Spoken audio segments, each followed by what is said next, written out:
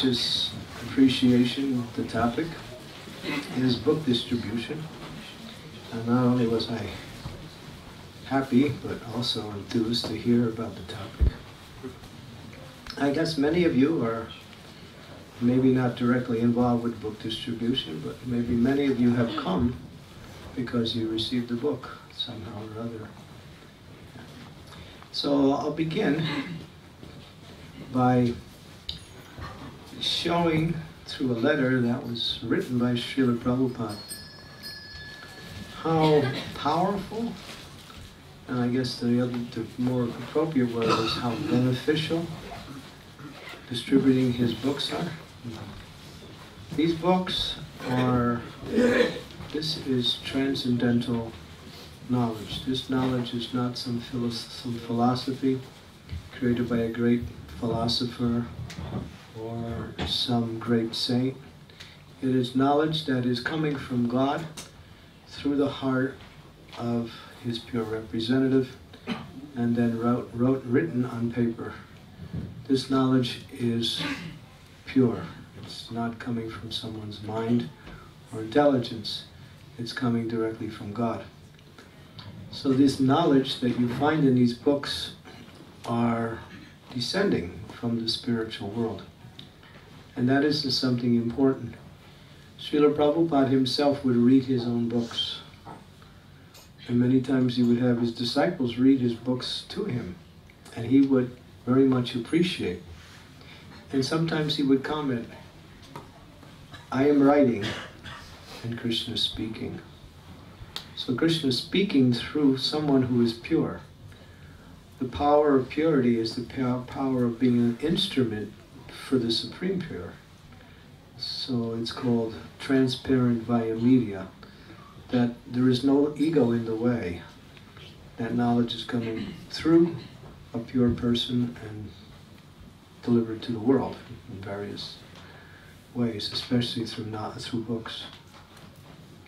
So this is a letter about book distribution written by Srila Prabhupada to German disciples in the letter is dated May 6, 1977. So this is only a few months before Srila Prabhupada departed from the planet. And he begins, My dear beloved disciples, please accept my blessings. I know that over the past years you have suffered so many tribulations to push forward Krishna consciousness in Germany. But this has not stopped you from your determination to serve the cause of Lord Chaitanya Mahaprabhu. A devotee is pleased when there is difficulty, for in these difficulties he is forced to remember Krishna. We cannot expect that the people of Kali Yuga will, become, will welcome our attempt to spread Krishna consciousness. It is just like a lunatic asylum. The patients are running around madly, and when the doctor tries to give them treatment, they insist they are not crazy. Sometimes the patient even strikes the doctor. So our task is like that. We cannot stand to see people suffering due to ignorance. What is ignorance? They do not know that they are not their body. This Krishna consciousness, movement is meant to deliver people to the proper understanding that they are not their body, but they are a pure spirit soul. We may or may not be appreciated, that is not our concern. We must execute the order of the Lord Sri Chaitanya Mahaprabhu, which is Yadi Deka Tarikaha Krishna Upadesh Amara Agya Guru Hoy Tara A Desh. Whoever you meet, instruct them to follow the orders of Sri Krishna as they are given in the Bhagavad Gita and in Srimad Bhagavatam. In this way, by my order, become a spiritual master and try to liberate everyone in this land. So here, now we get to the essence of the point of the letter. So our business is to satisfy the previous acharyas in Krishna. If they are pleased, then we, we know our work is successful.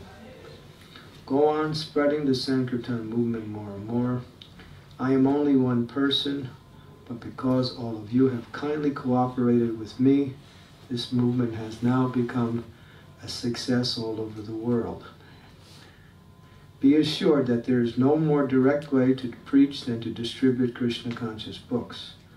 Whoever gets a book is benefit, benefited. If he reads the book, he is benefited still more.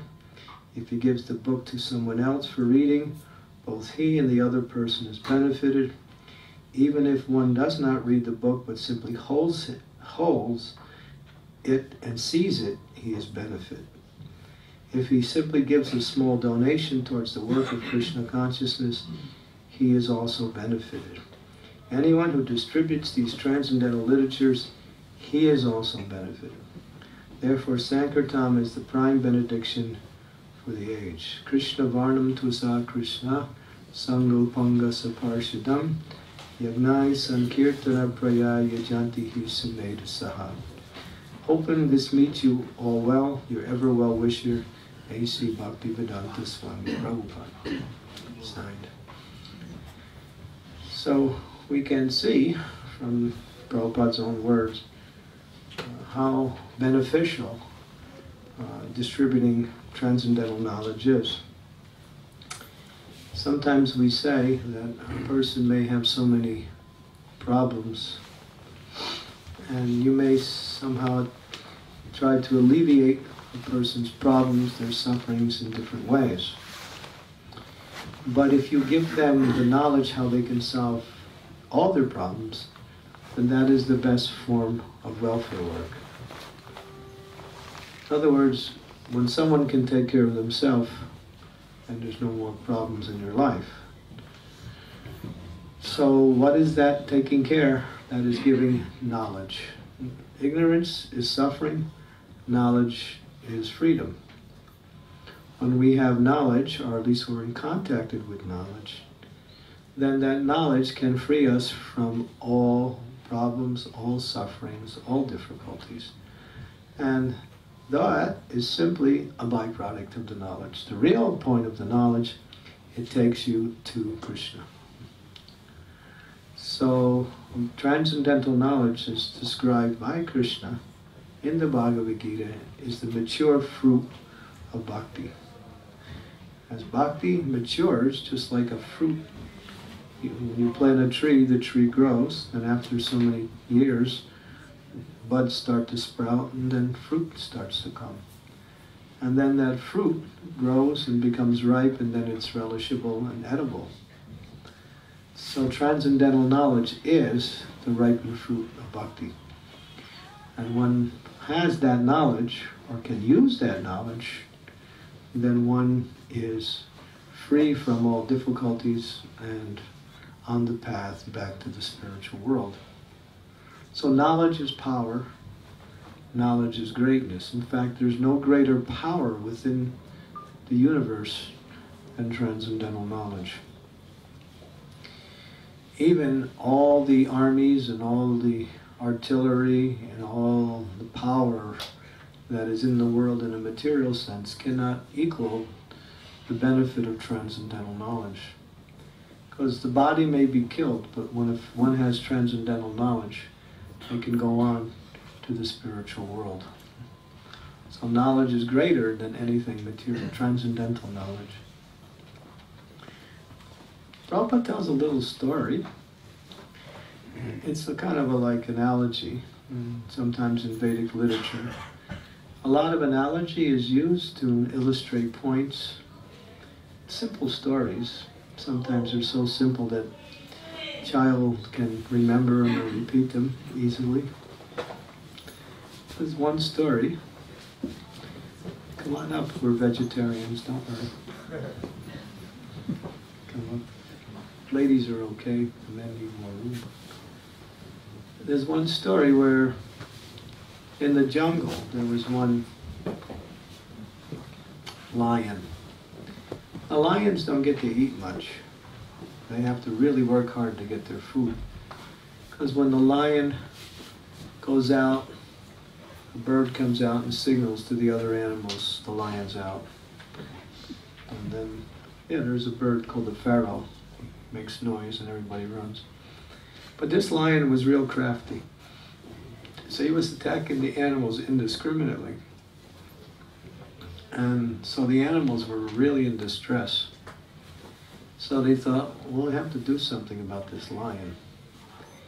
He's just making our life impossible. So they held a council meeting, GBC meeting.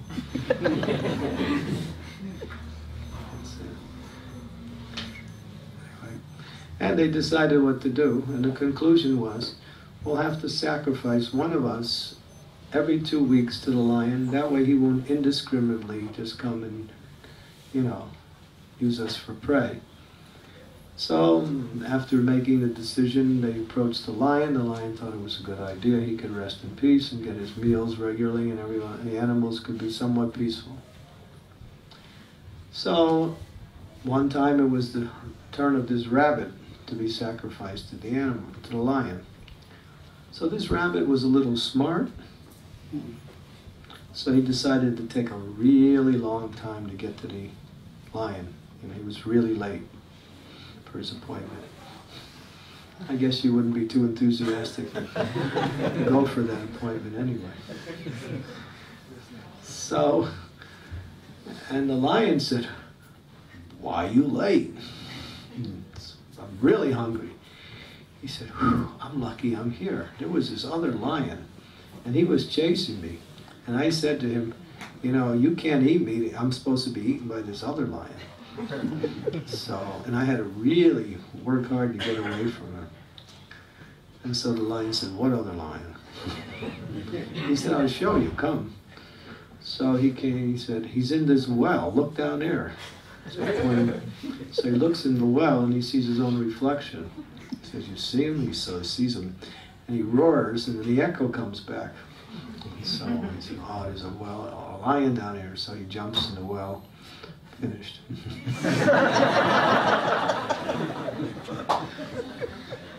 so knowledge is greater than power.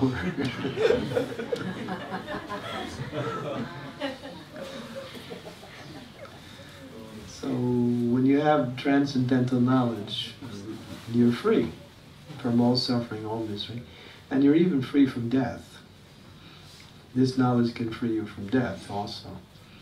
Because death has to do with the body, and this knowledge can give you the realization, not just teach you theoretically, but give you the realization that you are different than the body. And that's real transcendental knowledge, to know you're something different. Death, everyone will get that chance. The, the death comes to this body. But if we mistakenly identify ourselves with the body, then death becomes a problem. But we're not these bodies. We're the soul within the body. That's part of transcendental knowledge. That's the negative part, who we're not. We're not this body or we're not anyone else's body. But who are we? We're an eternal soul, part and parcel of Krishna. That's the identity of all living beings. And that soul has the same qualities as Krishna. Krishna is eternal, soul is eternal. Krishna is full of transcendental knowledge. We also have full knowledge up to a certain degree, and we are unlimitedly happy in our spiritual position. And that's the nature of God. The only difference between us and God is God is the complete aspect of these qualities, and we are partial. Although we are partial, we're complete, but He's the supreme complete. Om Purnam Adaha Purnamidam Purnat Purnasya Purnadaya.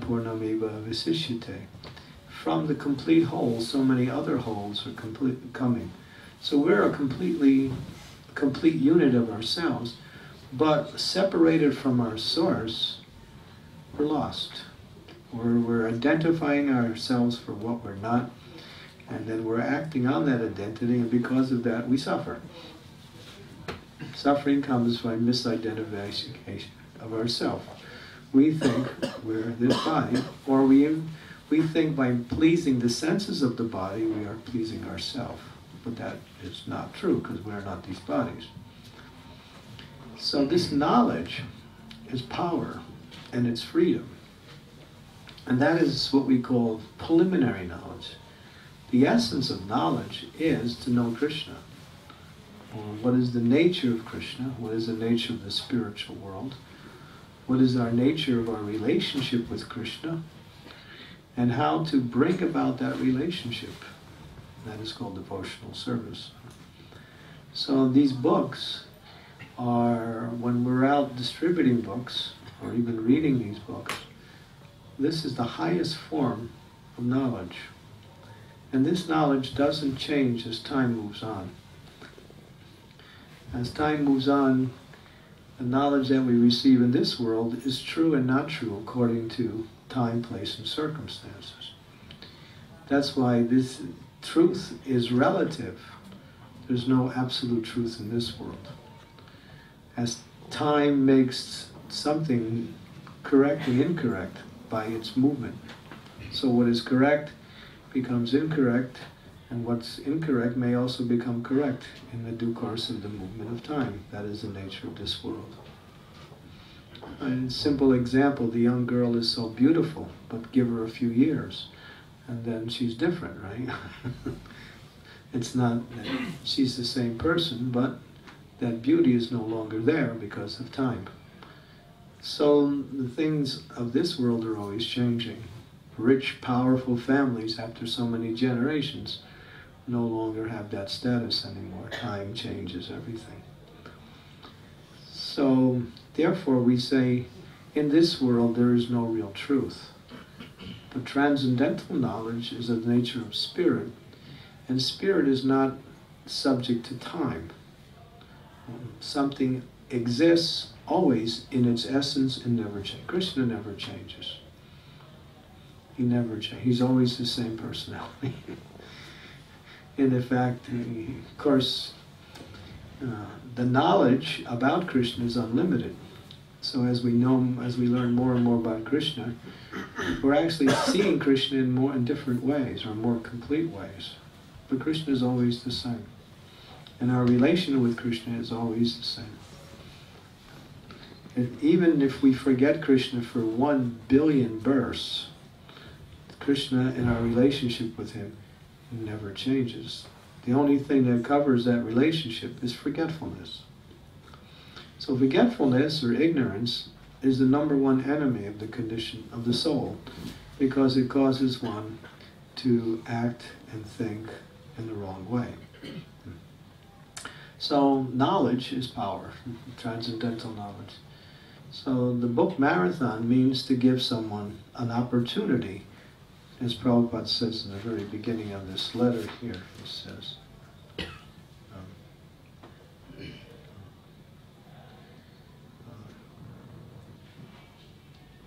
uh, we cannot stand to see people suffering due to ignorance. So that is the nature of a great soul. They're motivated by compassion, not by, you know, like power, prestige, or facilities, buildings, or money. They're only interested in bringing this knowledge to others. Because the highest form of happiness is to see another person happy. And that's the nature of love. Love means if you love someone, then you want to see that person happy. When they're happy, you, you feel satisfied. If, especially if you were an instrument to bring about that happiness. So pure soul, he loves Krishna unconditionally. And because he sees everything inside of Krishna, and nothing is separate from Krishna, Krishna and his energies are together. So therefore he automatically loves everyone. So his love for Krishna is expressed by giving Krishna to others.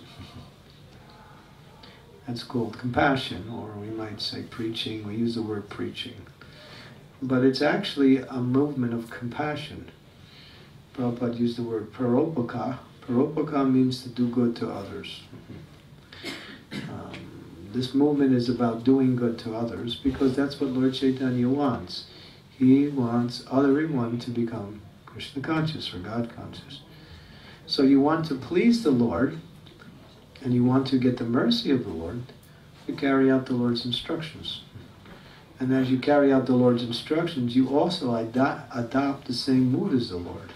You also feel the same thing as the Lord does towards others. So that was Prabhupada. Prabhupada would, I remember there was one incident where uh, the devotees were in Mayapur, and it was during a big festival, and they had just finished taking a feast, and they used the you know the leaf plates to put the food on. So the plates were thrown into a big area. It was like a garbage area. And then some of the little villagers, the kids, were running into it, and dogs were running into it to get the scraps. So the dogs and the kids were fighting over the food, little kids. So Prabhupada saw that, and tears came to his eyes. He was motivated by the compassion. You know, we have so much, and these children are just fighting over pieces of grain that are thrown away. So he says, from now on, we should feed everybody in this area. No one should go hungry for the for 10 miles in this area. And then he began the Food for Life program in India as a means to give food to people because he saw that they that's what they needed. They were starving, they didn't have enough food. So that's the nature of a great soul. Even on a material level, they feel the suffering of others. So trying, distributing books means to be an instrument for the compassion of the Lord, to be an instrument for the compassion of the Supreme, of the spiritual master in the same way. And when someone takes a book, as we read from this letter, even if they see the book, even if they don't even buy the book, or if they give some donation and say thank you very much, but that's okay, still they benefit. What to speak if they read the book, take it home, put it on their shelf, it becomes a deity. Hmm. It's like the de- sometimes in some of our temples, I think we also do it here. We take the books and put them on the altar and put a garland around them. And we can also do puja to the books because the books are actually deities. No. They're actually deities. It's Krishna in the form of knowledge. Krishna comes in the form of his deity, the holy name, the spiritual master, uh, transcendental knowledge, prasadam. He comes in different forms. These are all forms of Krishna and different manifestations of himself and they're all spiritual. So transcendental knowledge is another form of Krishna.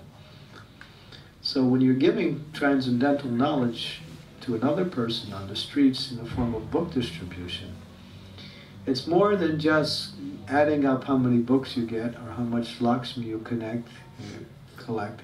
It's actually giving a person Krishna. It's actually and what's the greatest, what's, what is the greater gift than that than you can give someone a chance to come in contact with God? And at the same time, it's an opportunity for them to change their life or to improve their life. And even if they don't be, become an active devotee, still that book has great transcendental benefit in their life. It's just funny, I, I preach in jails and we do, we have an ISKCON prison ministry. And uh, we meet many people who became devotees in jail, never met a devotee, never been to a temple, no con. Somehow or other, they got a book. They got one of Srila Prabhupada's books. They start reading it. Said, "This is what I'm looking for." Started chanting start actually writing devotees, and actually are practicing Krishna consciousness, many of them. In fact, the, most of the inmates that we, we actually correspond with are people who never met devotees before. Not, not a majority, but the large majority. Only very few who were in prisons knew devotees before that. So these books are really powerful. It was interesting, we were doing a program in Slovenia in one women's prison. This was May this year. And there was these ladies, there was about 35, 40 ladies. It was kind of like a country club atmosphere. I've been to many prisons, but this atmosphere was like quite relaxed. The ladies wore whatever clothes they wanted. I mean, as far as there wasn't no prison uniforms or anything. And we came, we met the authorities there. They gave us a facility. We brought about 10 devotees. We had bhajan. And then we were talking with the ladies after in a very informal way, just talking about different things. So one of the ladies says, You know, many years ago, I was in my apartment and this one devotee knocked on my door. I didn't know who he was, and he sold me this book, Bhagavad Gita. And my whole, later on, my whole apartment burnt, and everything in the apartment got destroyed, except the Gita. and she went to her room and came out with that Gita. It had a few black spots here and there on the book, but it was in perfect condition. She kept the Gita. She Said everything burned, including all her other books. so it's there's something special about these books, really special.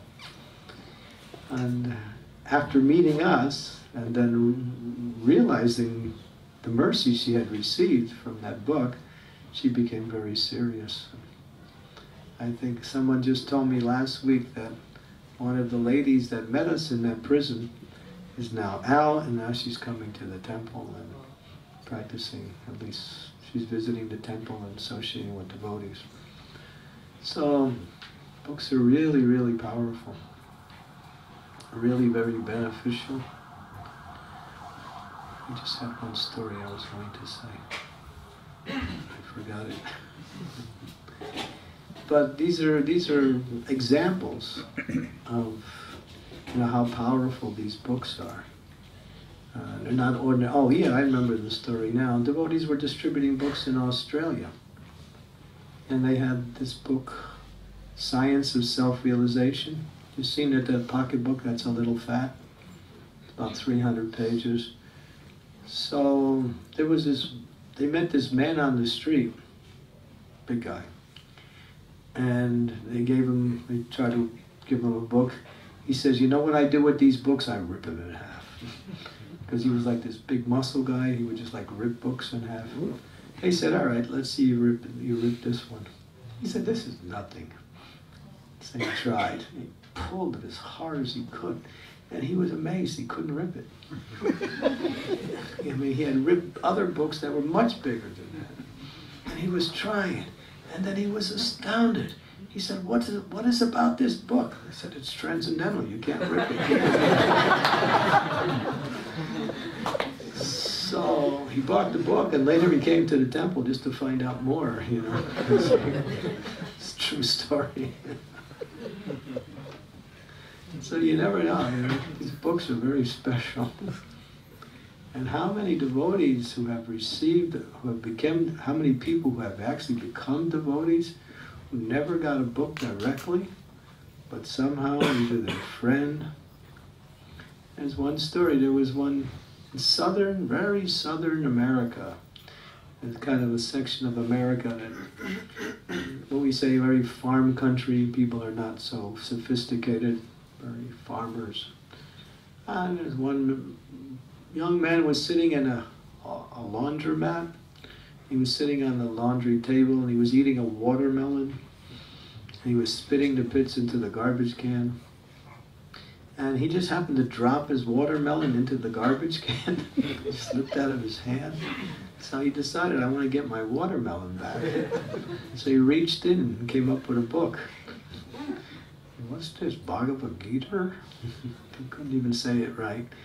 He, he came up with a Gita. It was in the garbage. Somebody had thrown it. And he was fascinated to start reading the books, and then later he came to New Vrindavan, joined the movement, and became, I remember, he became Tual, our welder in New Vrindavan. So there's so many stories how these books have changed the lives of people, even if they weren't given directly to the people whose lives were changed. So when we're out there distributing, and everyone should distribute books. You might say, well, I'm not a devotee. I'm just coming here. I'm just visiting. Distribute it anyway. It's Christmas time. You give gifts to your friends, to your family members. Sometimes we're sitting in, and we're, and we're sitting in our house thinking, who can I give? What gift can I get to my friend, to my mother? To just give everybody a book. that would be a good. It's easy. You don't have to worry about going so much shopping. You just come to one place, the Hare Krishna Temple. Give all your friends books. So it's an it's a nice way to give a present to other. And giving transcendental knowledge is the best present because if someone benefits by that, that benefit never is lost. It's always there and it always grows more and more. So, what can we say about book distribution? Srila Prabhupada has blessed it as one of the features of bringing Krishna consciousness to the world. He said the communists were very successful in spreading their movement because they flooded the world with their propaganda.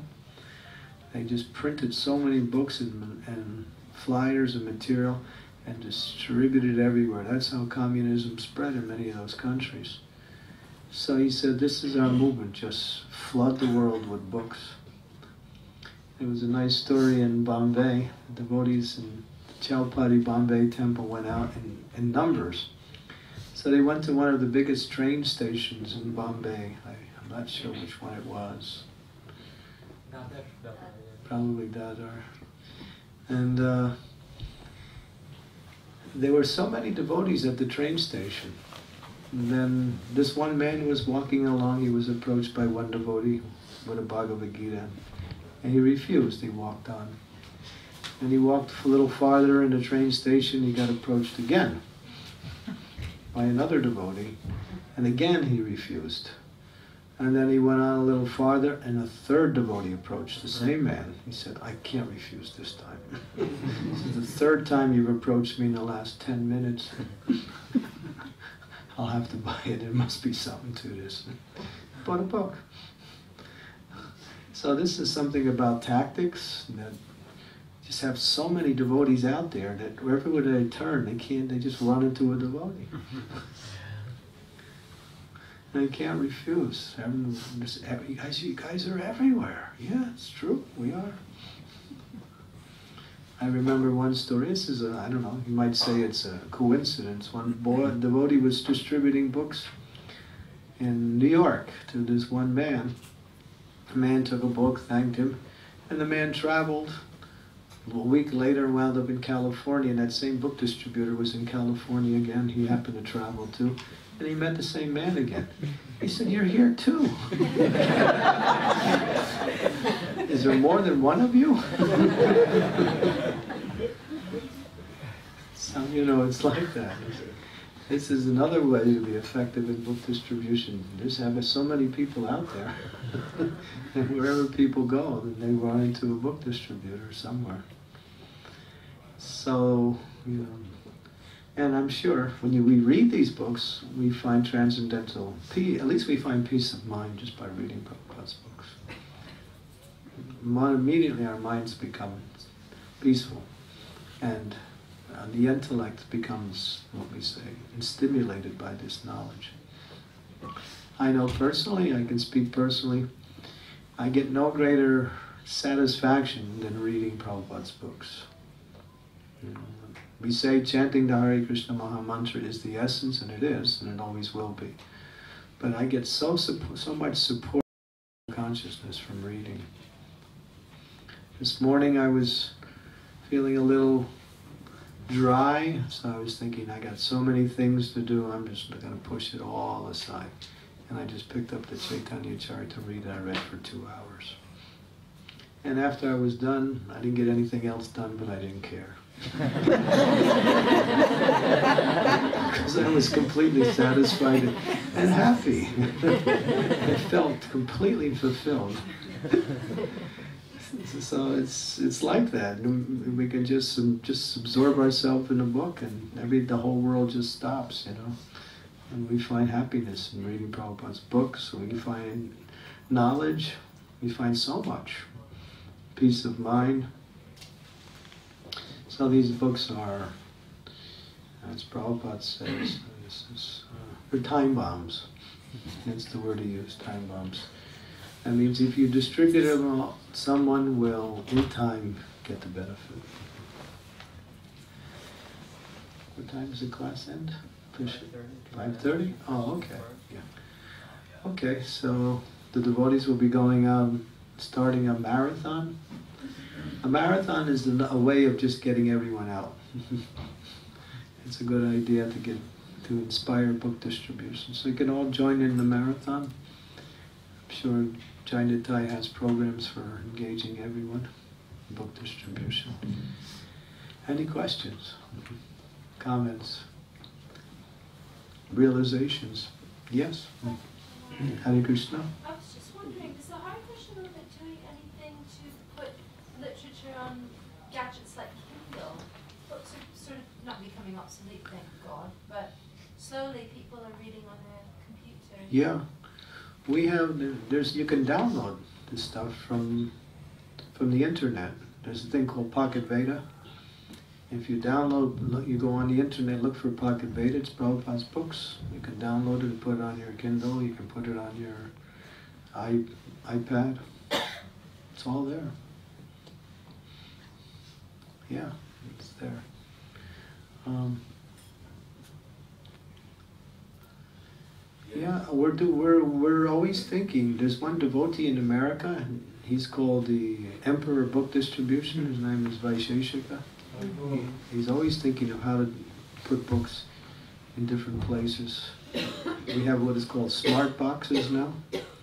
Smart box is you, you put a box in somebody's store, and you ask them to keep some books there, or some place where it's somewhat public. There's nobody there. There's a box and there's books, and it says, take a book, give a donation. And then people will take a book and give a, you know, one pound, two pounds, or some, whatever they feel like. There's another thing, they also set up vending machines with books in it, just like you can get your potato chips, you know. you can pull out and back the, uh, was it? Beyond Birth and Death, you know. a little book. Then we're also doing a, a, program with books in motels. If any of you are motel owners, you know, Gideon's Bible has been in motels for I don't know how many decades. I remember if I've ever stayed in a hotel when I was traveling, there would always be a Bible in, in the room.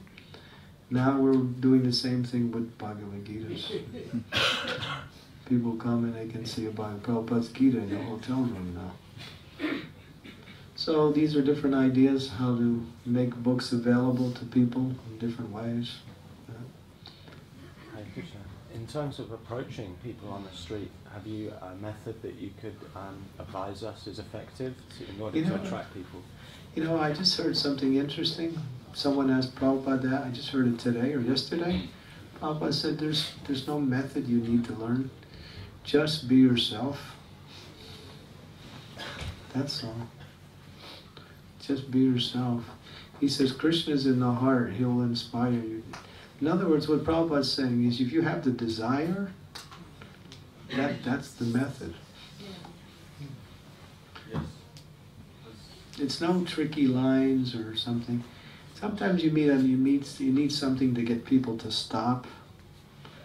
And once you get them to stop, then that's then that's ninety percent. But I tell you, one way to sell a book it's in that tactic, is when you're talking to them, give them the book and then talk. Once they feel it, it's harder for them to give it back. it works. It's great. Because there's something about holding that book that they start feeling like, well, this is mine. It's nice. So you can that that can be used, you know. Just but as far as what you're saying, you know, Krishna will inspire you from in the heart. Just try to talk to them. relate to them as a person, not as an opportunity to get a book sold. You see them as a customer, then mm-hmm. that's another thing. If you see them as a conditioned soul who really needs this knowledge, then Krishna will give you the words. Thank you. Mm-hmm. Thank you. Yes. Yeah, yeah. I just want to share a realization. Sure, please. Yeah, I was.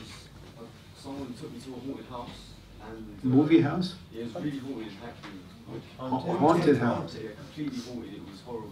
Lights were going off, and I took one Bhagavad Gita there, and the whole thing stopped. they actually protect the house. Yeah. It went back to normal. I mean, that's how powerful the books are. Books are very powerful. Protect the whole house. Yeah, good. Bhagavad Gita is non different than Krishna. Thank you. Wonderful. Yes. Maharaj, you mentioned in your class that um, the books are deities, and sometimes I hear devotees say, oh, well, if the books are deities, how can we just give them out on the street to anyone? So, how would you answer that question if you would ask? Well, Krishna, we give the prasadam is also non different than Krishna. But we give that out because people need prasadam. They also need knowledge. So they're deities in the sense that they're not like the deity on the altar. You wouldn't go out and give the deity on the altar to somebody. but we're using the word de- deity in the sense that they're worshipable, they're absolute in the word, the process of worship. So when you're giving, when you use that word, you're just making a point. But this knowledge is meant to be. Knowledge means to, when you give knowledge, you get knowledge. You try to keep knowledge, you lose knowledge. And this is explained in Krishna book that unused knowledge is like having a pot of water with a crack in it, and then gradually the water seeps out. So if you have knowledge, you want to keep knowledge, and you want that knowledge to expand, you distribute that knowledge. And then it, then it becomes greater. That's true about anything spiritual. Material, whatever you have, you give becomes less. Spiritual, whatever you have, it begin, becomes greater. Becomes greater. So yeah, they're deities in the sense that they're worshipable. Anything else, anyone? Uh, Yes, a couple of hands there. so, uh, Oh, Balaramji, Hare Krishna. uh, What's your new name? Balaram. Balaram. okay. Well, thank you. My question is, how do we differentiate academic knowledge from spiritual knowledge? Because uh, academic is also um, coming from, say, Goddess Saraswati, uh, like that, uh, whereas spiritual knowledge we uh, Uh, used to know God. So how, what's the difference? There's different categories of knowledge. There's academic, there's preliminary knowledge, there's more developed knowledge. Knowledge is in different categories. The highest knowledge is knowledge about Krishna. That's completely spiritual. The knowledge of our relationship with Krishna is also spiritual. But the knowledge between what is what is matter and what is spirit, that's preliminary, that's basic. That's what Krishna spoke in the um, second chapter of Bhagavad Gita. But logic, reason, argument, and academia are platforms where one can understand certain principles that are conducive to understanding higher knowledge. Just like there is logic also in our books. We deal with logic. But sometimes that logic is contradictory to what we call material logic. So one has to get an understanding by from the spiritual teacher. What is real knowledge? What is what is the difference between transcendental knowledge, preliminary knowledge, academia knowledge? Academia knowledge more or less falls into the category of material. You know, basic understanding. But the qualification for becoming Krishna conscious is not, you know, we say good intelligence. It's simply devotional practice. Anybody can practice devotional service. Anybody can practice devotional service. So sometimes you find academia will take transcendental knowledge and give an academian, what we say, critique on that. Sometimes they try to read very much, they take Chaitanya Charitamrita and try to analyze it from different points of view. But you can't understand bhakti. Bhakti is a secret. That's why Krishna says, Raja Vidya Raja Guhyam. It's a great secret. What is the secret? Krishna tells you the secret. It's a secret that you that you can you can you can you can hear the secret and still it's a secret. In the sense that you can't understand it until you practice it, then the secret is revealed. You only understand the knowledge until you practice it. Theoretical knowledge is simply preliminary to get you to practice. Well, once you practice, then the knowledge becomes what we say part of you. It transforms you. So academic knowledge can't do that. There's no transformation. Transcendental knowledge gives you good qualities, spiritual acumen, and relation and awakens your relationship with Krishna. That's different. That's much different. Yes, sir. Uh, my question is very similar to the message you asked earlier. I never seen any CDs or DVDs being distributed on the streets. I know you say just uh, it can be downloaded from internet, but it's just not the same really. No, it's not the same. Uh, so is there any some reasons For for why we never have any discs or DVDs distributed on the streets? uh, you mean with our books on yeah, it? yeah, exactly. Even including in the book, like uh, I, I just asking because I saw other day. It's a good idea.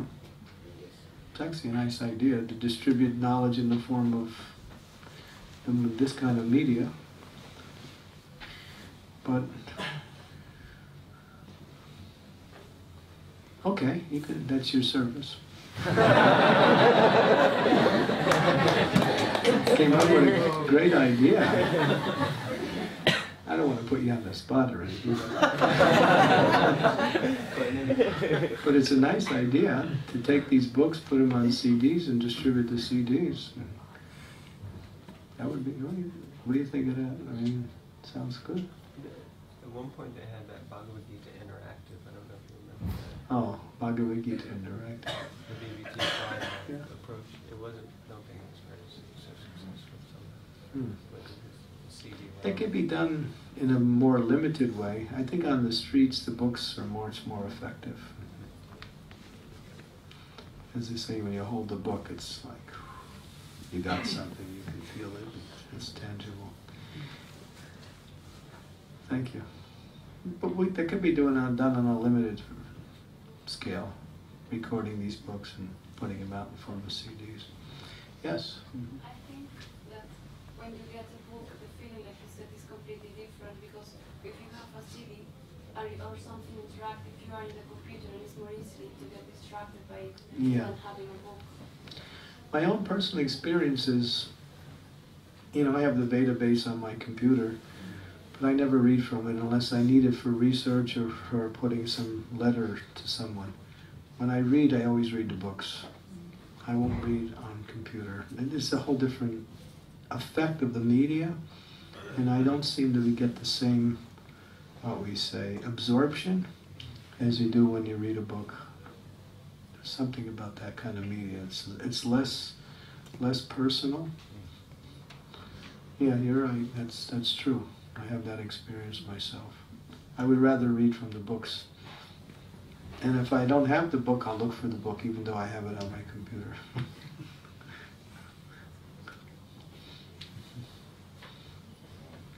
okay. Anything else? Yes, Hare Krishna. You you nodded your head when I said many of you have become devotees because of was that your also like your experience? I was just going to share that. I mean, see, some, not talking about my story, but we talk about um, books being time bombs. Hmm. And uh, I came through through my grandfather, which he had on his shelf for 35 years. so- 35 years. Yeah, so do distribute the books because somebody will take it. Somebody will get the benefit. Wonderful. Even if it takes 35 years, it's fine. yeah, the bomb went off. Thank you. you are a, a nice fruit of that bomb blast. Oh, Hare Krishna. That's true. I, I'll tell one story and then I'll end because it's a little late. I was, my base is Chicago, so I was there. And one hippie came into the temple. He said, "I want to join, and I want to go to New Vrindavan." I was, and I said, "Oh, that's nice. Well, what do you know about our movement?" He said, "Well," he told, he told his story. He said, "I was sitting in my house, and my father was getting rid of his old books." Because I know, at least I know in America, they have these bookstores. You can just take all your old books to the bookstores, and they'll give you something for their book, and then they resell it, used books. So his father was carrying out these books, and he saw on the top the Bhagavad Gita, and he just noticed it, and he said, "That, let me see that." So his father gave it to him, and he read it, and he read half of it, and he was really inspired. And then he tried to find out, well, who's behind this? And he couldn't find anything. And he was really somewhat concerned, so he did some research, couldn't find anything about a temple, or anything. So finally, one day he was walking down the street, and a book distributor met him. And then he said, "Oh, I've been looking for you." So he explained his story, came to the temple, and I remember I met him, and he wanted to join, and I he said, "Take me to New Vrindavan," and I did. And he joined, shaved up, and got initiated. Because he somehow or other he saw his father carrying a Bhagavad Gita. right? So there's many stories like that. So many stories. We could tell stories all the way up to 10 o'clock. then I think he would probably get a little bit hungry.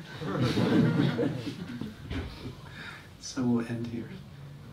So anyway, if if you could spend one day or two days or whatever time you can just distributing books, go out just for an experience. Just try it. You'll find it's a wonderful experience. You're, you're Krishna's instrument out there. It's a nice experience. Just you don't have to be initiated. You don't have to have just just give it a try. Take a few books and try to sell them. Okay, thank you very much. Srila Prabhupada ki Jai. Sri Harinam Sankirtan ki Jai. Samaveta Bhakta-vrinda ki Jai. Gaura Jai.